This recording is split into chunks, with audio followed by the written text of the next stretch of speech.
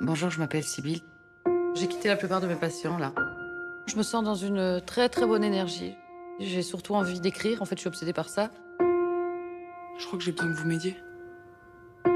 J'ai arraché la place que j'ai sur ce tournage. Je peux pas risquer de tout perdre, c'est impossible. Je suis enceinte de deux mois, je peux pas le garder. J'ai tellement peur, je peux pas lui dire.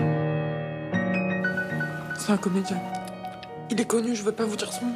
Tu liquides tous tes passions pour écrire, mais tu prends cette fille. On a tous un fait pour certains d'entre eux.